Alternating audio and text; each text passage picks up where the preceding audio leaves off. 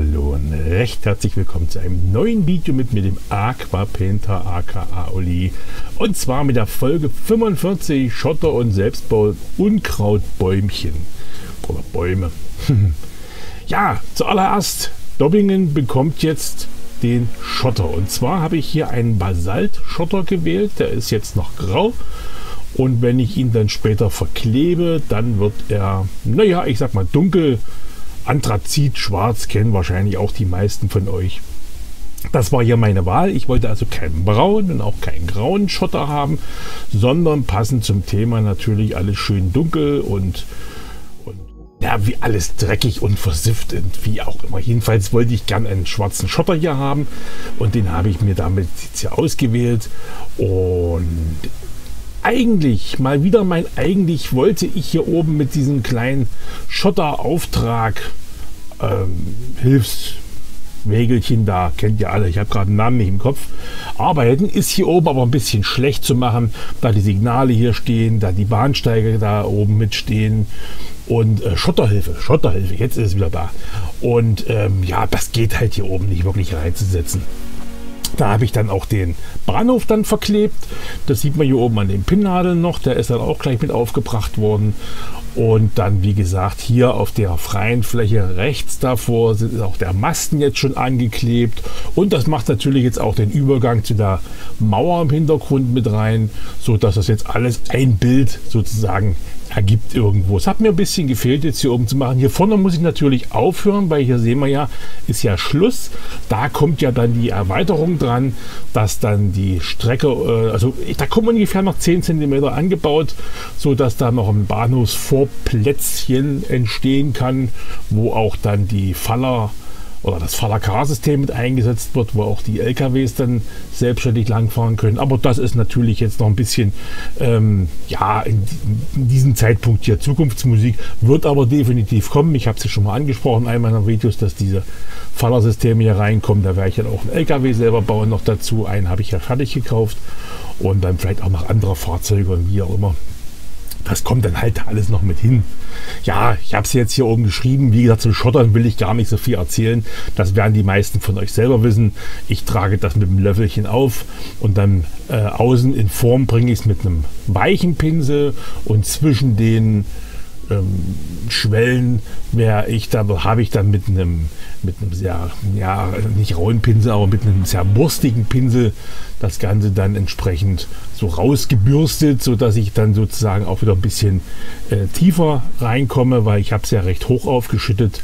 Und jetzt wird das Ganze hier in dem Fall noch mit meinem Tiefgrund Ganze, wieso ich die Erde in der letzten Folge im Hintergrund auch festgemacht habe, mit Tiefgrund festgemacht und später hatte ich es dann auch noch mal probiert. Da komme ich aber auch noch mal separat drauf zurück. Mit Weißleimgemisch fand ich nicht so schön wie den Tiefgrund.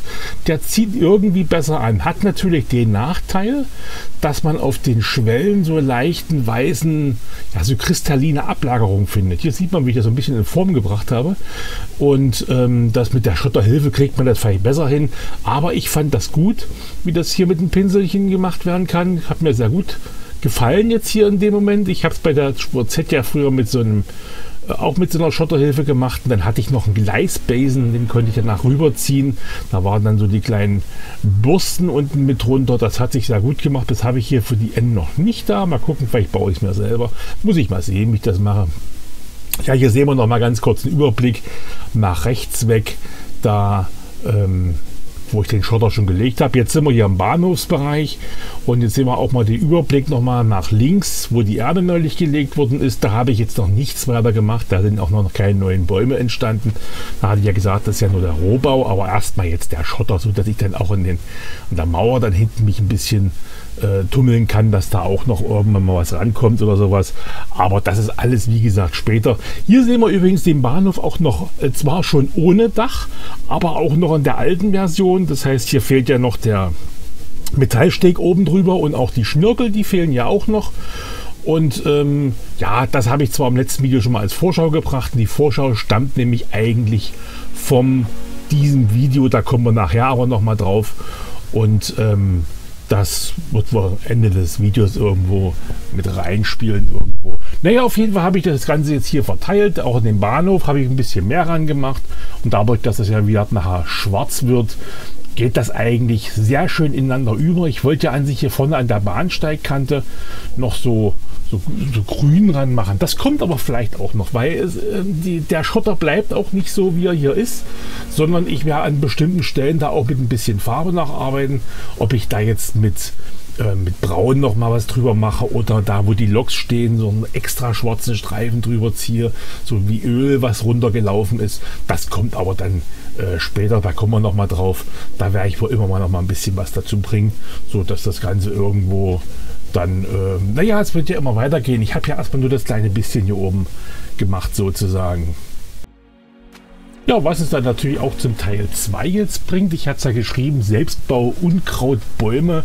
Da bin ich also bei einer Fahrradtour, wir machen sehr, sehr viele Fahrradtouren, mit bei einer Fahrradtour losgegangen, habe meine Frau zum Wahnsinn getrieben, weil ich ständig stehen geblieben bin und habe hier irgendwelche kleinen äh, Teile gepflückt, wo ich dachte, das könnte ganz gut aussehen. Ähm, hatte ich in der Form bis jetzt noch nicht gemacht. Oben haben wir gerade mal so ein kleines Vorschaubild schon auf das nächste Video gesehen kleiner Spoiler sozusagen.